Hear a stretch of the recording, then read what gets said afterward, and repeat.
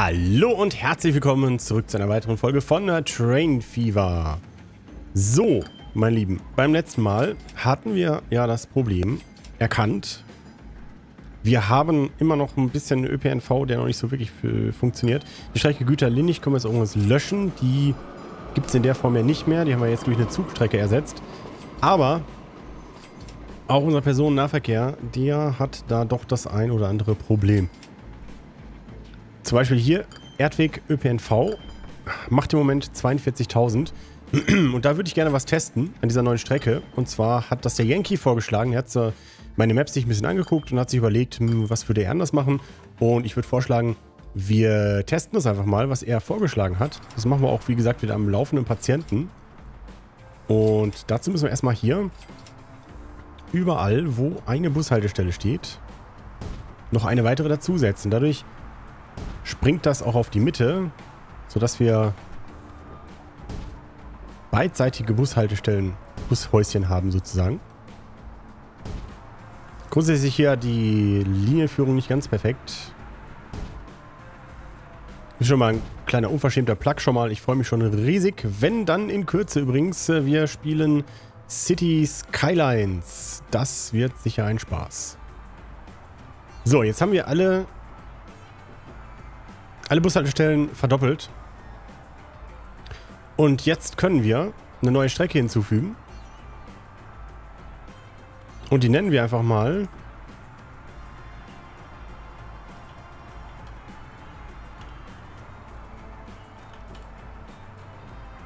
Na toll. Erdweg rückwärts wollte ich es nennen. Muss man erst vorher löschen. Also nochmal. Erdweg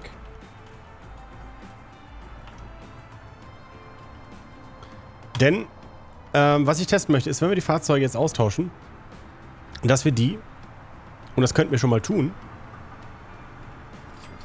dass wir die auf eine andere, auf eine andere, in die andere Richtung fahren lassen. So rum wollte ich sagen. So, das heißt, wir fügen Haltestellen hinzu.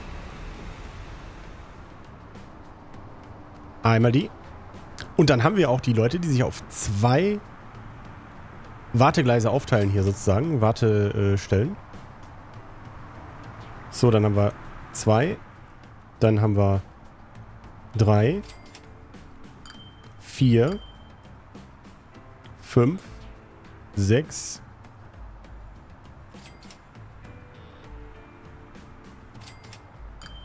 So, am Rückweg kann der ja dann wieder hier lang fahren. Und fährt dann aber genau andersrum wie beim ersten Mal. So, jetzt müssen wir noch die Fahrzeuge austauschen. Und dann mal abwarten, ob das hier was gebracht hat mit rechts rum, links rum fahren. Deswegen gehen wir auf Fahrzeugersatz. Wählen das Ersatzfahrzeug. Und da sehen wir schon, das hier haben wir bis jetzt im Moment hier unterwegs. Und die sind auch, glaube ich, schon relativ alt. Ich weiß das jetzt gerade gar nicht. Ich ziehe es mal hier rüber. Details, 12 Jahre, nee, gar nicht mal. Kostet 30.000, so. 36.000 für 15 Passagiere. Wir tauschen die trotzdem mal aus. So, das heißt, wir nehmen, wir wählen dieses Fahrzeug zum Austausch. Und zwar für alle. Sagen ja. Und dann weisen wir aber ein Teil davon, und zwar genau der Hälfte, die Linie rückwärts zu. Und ihr seht schon, also es sind viele, viele Details jetzt im Spiel mittlerweile verbessert worden, wo ihr wahrscheinlich früher gesagt hättet, mein Gott, ist das nervig. Unter anderem natürlich das Fahrzeug austauschen. Das wir hiermit schon abgeschlossen haben. So, jetzt haben wir erreicht, dass... Gut. Ich glaube, dieses Teilstück hier von der Strecke ist viel zu umfangreich befahren, sage ich mal. Vielleicht hätten wir das... Hätten wir mal versuchen sollen, ob wir das hier dran anbinden können. Das probieren wir mal. Ob wir hier eine kostengünstige Buslinie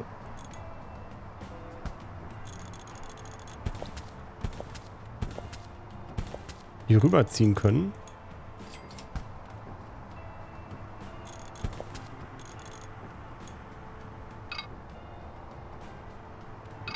Hm.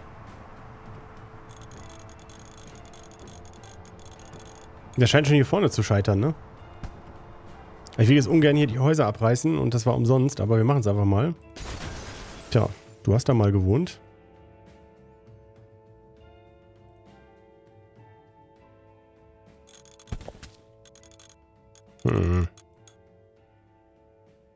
Ärgerlich.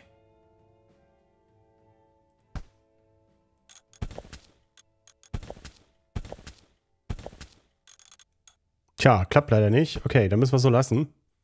Haben wir jetzt äh, die Familie umsonst aus ihrem Haus verscheucht? Hm, Pech gehabt.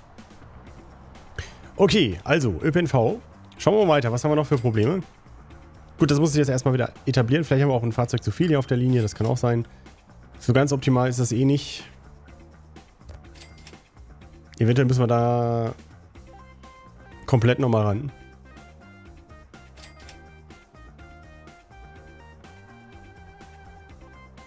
So, dann hatten wir die Umbauten auf der Strecke Güter-Hochheit. Da haben wir vor einigen Folgen, haben wir hier mal modernisiert und so. Da ist auch der Gewinn ziemlich dünn geworden. Haben wir entweder zu viele Fahrzeuge. Schauen wir mal. Güterhochheit wartet aber allerdings auch regelmäßig. Da müssen wir vielleicht mal schauen. dass wir hier die Straße entsprechend modernisieren. Wobei, bevor wir das machen, sollten wir vielleicht mal schauen, ob das beim letzten Mal, wo wir das gemacht haben, nämlich hier Linie 4, was gebracht hat. Und wir sehen, das hat richtig was gebracht. Von 300.000 auf 800.000 hoch. Also, wir werden hier mal eben die Straße modernisieren. Und zwar auf wieder unsere Landstraße. Aber natürlich nur für uns, weil der Individualverkehr hier, der, den wollen wir natürlich nicht das äh, wollen wir nicht.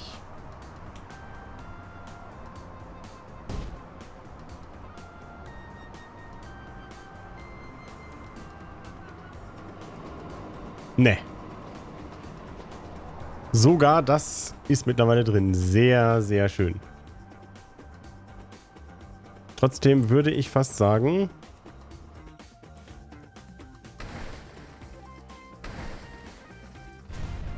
Wir machen das mal eben neu. Nein.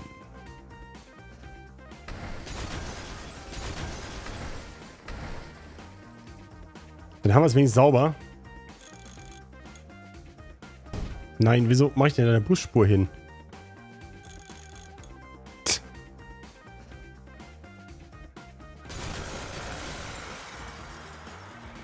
Also keine Busspur, nochmal. So, dann hier wieder das Bahngleis verbinden.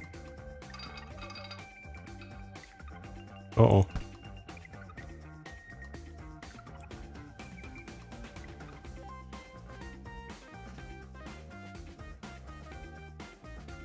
Ich habe da so ein paar Befürchtungen gerade.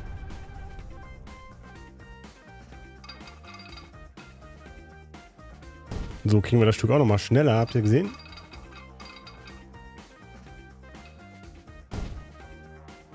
Und das Teilstück auch nochmal schneller. Oberleitung haben wir Gott sei Dank an. Gut. Und hier vorne das gleiche würde ich sagen auch nochmal. Das haben wir eigentlich schon wie oft gemacht, ne? Fällt mir gerade mal so auf.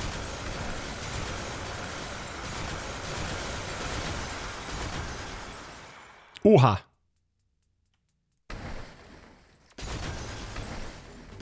Können wir ja auch gleich die Brücke neu mitmachen. Und einen viel schnelleren Übergang schaffen für die für den Vierkäfer Express, denn mit dem hatten wir ja auch Probleme. Ihr erinnert euch, wir hatten da äh, einen Deadlock gebaut, beziehungsweise wir hatten...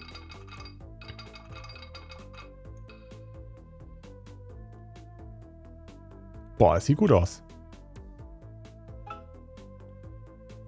Wir hatten da ein Stück reingebaut... Oh, wo ist denn die Kollision? Wir hatten ein Stück reingebaut, äh, was dazu geführt hatte... Hm...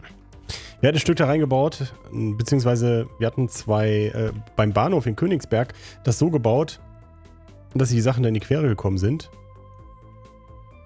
dann mussten immer zwei Züge sich ein Gleis teilen. Das war natürlich sehr suboptimal. So, schauen wir mal, dass wir das jetzt hier hinbekommen. Es ist ja gerne mal immer zickig. Wo ist man denn hin überhaupt hier? Okay, und der Fluss ist das Problem. Das heißt, wir müssen erstmal hier die Brücke hinbekommen. Und dann über die Straße. Und so bei dem Teilstück auch 218 möglich sind als Geschwindigkeit.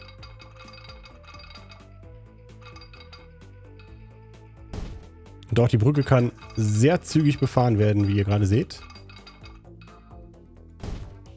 Prima. So. Jetzt wollen wir mal gucken. Jetzt haben wir also alles äh, modernisiert hier. Alles mal durch neue Gleise und so weiter. Ob jetzt alle Züge noch fahren wollen. Das ist ja schon mal ein Problem. So, den schauen wir uns an. Der fährt gleich über das neue Stück. Der weigert sich zumindest schon mal nicht. Und kann hier natürlich jetzt auch durch den Umbau ein bisschen früher Fahrt aufnehmen. Und am Ende der Folge wollen wir mal schauen, ob diese diese Umbauten aus der letzten Folge, ob die was gebracht haben.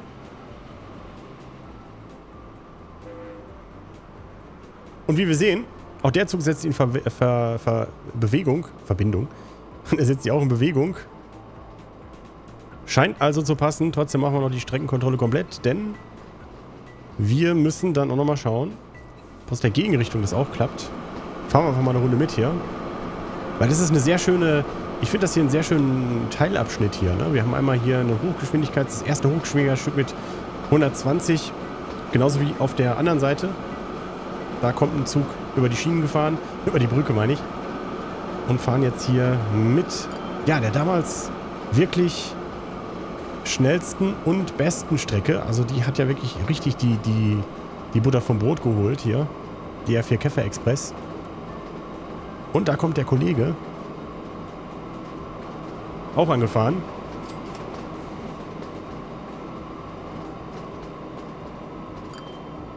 Na, sieh mal einer, guck.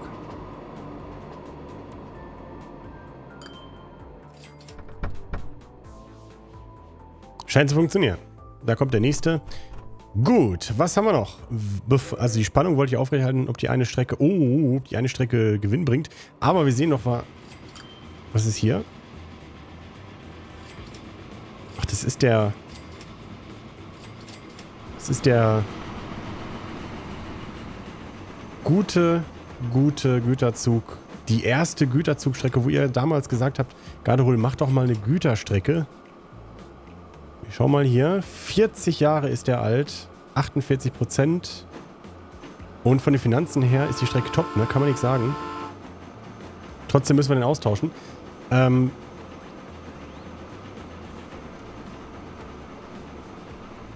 Vor allem, da der nicht voll wird. Wir müssen mal gucken. Wenn wir hier jetzt zum Beispiel eine andere Lok nehmen. Wenn wir hier eine andere Lok nehmen. Mm, die schneller fährt. Müssen wir mal gucken, wie viele Waggons wir da anhängen müssen. Im Moment ist es halt klar zu viel, ne? Wir bräuchten also quasi... Und da haben wir ja auch wieder die neuen Wagen bekommen. Da haben wir schön was zu tun für die nächste Folge. Und die Spannung steigt, hat Erdweg sich berappelt durch die Änderungen, die wir haben. Wir müssten hier, wenn wir hier einen schnelleren Zug einsetzen wollen, aber glaube ich auch noch die Gleise ändern. Steht da mittlerweile Text dran. Nee, also bei den Gleisen nicht. Ich glaube, da war es 160 mit den alten und äh, das Problem sehen wir trotzdem schon bei den Kurven. So, jetzt schauen wir mal kurz, was der sich hier reintut. Aha. Also mehr Holz, mehr Holz anhängen und weniger Güter. Aber das sind ja dieselben Wagen, deswegen ist das egal. So, und der kostet 800.000 im Jahr. 585 wäre dann auch auf dem Niveau von der äh, super günstigen Elektrolok, die wir jetzt schon ein paar Mal eingesetzt haben. Und ich überlege gerade, ob wir dafür die Strecke modernisieren sollten oder nicht. Tja.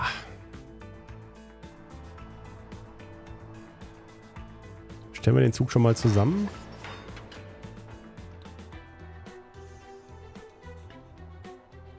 Beziehungsweise Nee, wir müssen ja noch was auflösen. Und zwar mit einem Blick darauf, wie dieser Zug hier in den Bahnhof reinfährt und wo es dann in der nächsten Folge weitergeht, hat sich der Umbau in Linnich, hat er sich gelohnt. Da hatten wir ja umgebaut, dass die Fahrzeuge in beide Richtungen fahren. Das ist ein Vorschlag von unserem Yankee gewesen. Und wir schauen mal, ob sich das gelohnt hat. Und da sehen wir, nee, Erdweg war es, ÖPNV. Und da sehen wir, die Taktzeiten haben sich verbessert, aber das, die gesamte, die gesamte Streckenführung, die scheint noch nicht so ganz optimal zu sein. Und deswegen aber Moment, hier wurden jetzt auch die neuen Neukäufe drauf gepackt. Also das, was da als Züge neu gekauft wurde, das wurde dem hier aufgeschlagen und musste man damit bezahlen. Tja, ähm, also in der nächsten Folge, der erfolgreichste Güterzug, den wir je hatten, den werden wir umbauen. Hoffentlich ist dann immer noch so erfolgreich. Wie das klappt und ob das klappt, das seht ihr dann beim nächsten Mal. Ich würde mich freuen, wenn ihr dabei seid, wenn es wieder heißt, Garderoll spielt Train Fever. Also, bis zur nächsten Folge. Macht's gut. Bis dahin, schaltet wieder ein, lasst einen Kommentar, Feedback, Daumen, Abos da. Bis zum nächsten Mal. Tschüss.